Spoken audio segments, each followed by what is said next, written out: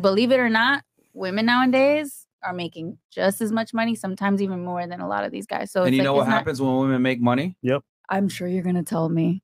Well, let's Good. see if you know. Good. No, say no, no, tell me What what men don't when, want them because they're like I don't know. no, no, no, no, no, crazy no, no, What? no. What what happens when women make, make no? shit that you're gonna say. See, I'm not anti-woman. I'm pro really reality.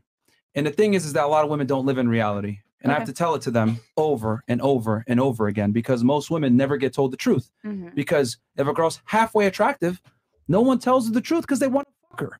So they come on our podcast and I tell them the truth. Hey, this is what men really think. This is how the world really works. Oh, you're a misogynist. Oh my God, You're you hate women. You hate And it's like, women. no, I'm not misogynistic. I'm realistic, and I'm telling you guys how men really think and how they really speak when women aren't present. Well, so, So I going don't, back to I- my I question- don't disagree with, and I've told you this before. I don't, I don't disagree with everything you say. I just think your angle sometimes is a little like is a little off. Hmm. Like, How? not.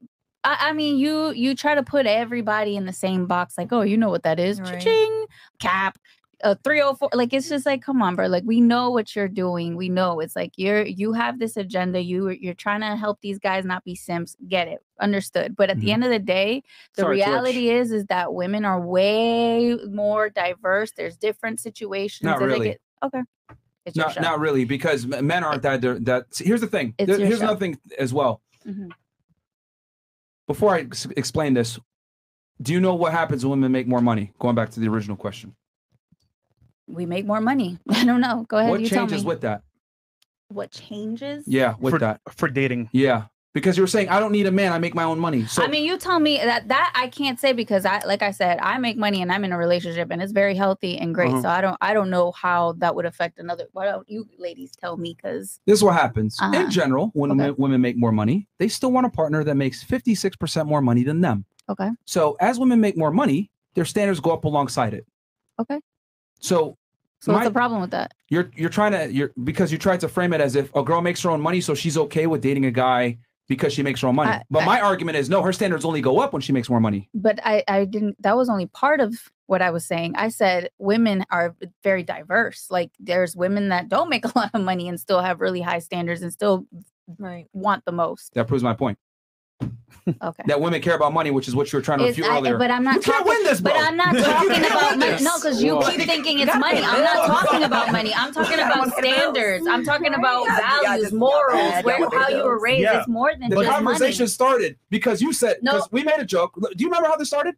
No. Yeah, I do because you pressed cha-ching when she, when you said, "Oh, you know what that means." Cha-ching. yeah, yeah, Like, That, way- right, that's you. okay. That, that it means if a woman goes ahead and consolidates on a guy that has children from another woman, Mhm, right? mhm. And she said, "Oh, yeah, if I like him, blah blah blah." And I'm like, hey, you know what that means? That means he's got to be financially secure to some degree. Because if a if a man's coming in with Mhm. a child, that's a handicap. So for him to make up for that handicap, he needs to be able to provide security Okay. to some degree extra because he has a kid. I don't think that even women should be dating if they're not financially secure. Like I, I, I it's Yeah. not a money. Th- I think that if you're Okay. not, is as a But woman, they don't have to. okay, okay. Do do men? Okay. Let me ask you a question. I know a Do- lot of broke dudes too that have that are in relationships. Do you know somebody, a man that's broke that's in a relationship? Yeah, but who screens for security more of the two genders? Like, who screens for security in the in the uh in the tug of war of genders? women, one thousand percent. Okay, right. So who's gonna go further being broke? A broke woman or a broke man? Okay, so all right, Please let's, answer the let, question. let's go back. Let's Please go back answer to the question. let's go back to this. Please answer okay, the hold question. on. I'm gonna answer your question. Because you're trying to Give me a make the argument. You're trying to make the argument. But I know broke guys that Myron. get girls. That doesn't matter. Hold on, but you specifically, you pointed that to her. You said you know what that is. Cha-ching to her. Is that true for you? Is it true for you that it the only reason you would date him if he had a kid was if he had money? No, that's not true. Look, But you said it towards No. her. That was my. That's you my changed point. It's like whole. that's point of it. that. That's It's my a thing. major component. It's not the only thing. We're seeing it's a major component. it's a major component. because Okay. it, financially, she he has to ki- take care of her and the kid. Uh-huh. So she doesn't want to be second second place to that. So I just I, I don't know, man. Like you just changed the whole topic of it. But there's broke men out here with kids who are in relationships. Yeah, but for how long? Not Yeah, for long. Long. and who's and who's he with? A fat And- ugly bitch nine out of ten times. Like men, like ew. Like Out of it- that Agree to pocket. it. That was Look, out of look, pocket. th- th- this is a problem that you guys don't realize.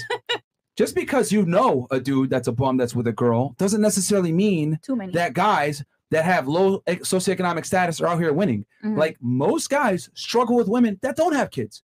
Most guys that are average can't even get a date or get a girl to call them back.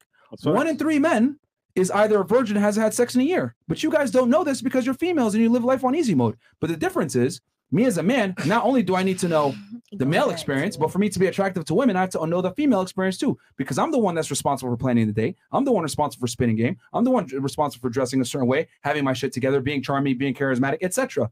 Because if I go on a date with a girl, even if she's a boring ass bimbo and the date sucks, she's gonna still blame me and say that date sucked. He was boring. So the man is expected to perform. Period. So what I'm saying is this: Why, are you women. daring, why are you dating boring ass bimbos? That's not the point No, I'm no, trying to make. In general. The point I'm trying to make is the Lift burden, your the, standards. bur- the point I'm trying to make is that men must understand women if they want to get laid. Women don't have to understand men to get laid. That's my point. Or get a relationship for that matter. okay. Most women, I would argue, don't know shit about what men really want. But they don't have to know because they have the privilege of men coming up to them first. Okay.